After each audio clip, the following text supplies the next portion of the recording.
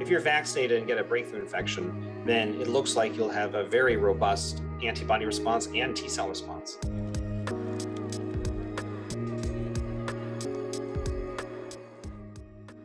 A breakthrough infection is when someone tests positive for COVID after being vaccinated. There was a large number of breakthrough infections in Provincetown in July. The Provincetown outbreak included over a thousand infections in a highly vaccinated population, over 74% vaccinated. And there were over a thousand breakthrough infections, uh, almost all with the Delta variant.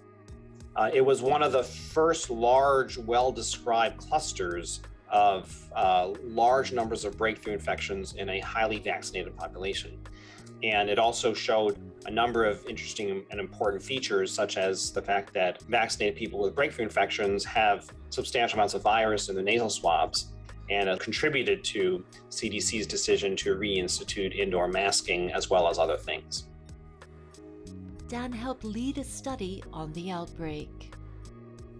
Vaccinated people who get breakthrough infections generally have a mild course of disease in the vast majority of cases because they have a rapid onset of uh, very potent antibody and T cell responses that likely control the virus.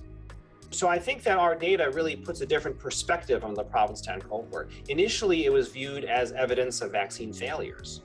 I would actually argue it's evidence of vaccine success. These vaccines are doing what they are intended to do. In many cases, vaccines are not going to completely prevent infection. But what they will do is uh, they will have immune responses sitting there waiting so that if there is an exposure to virus, they will kick into high gear, they will expand, they will have very high responses that will rapidly eliminate the pathogen.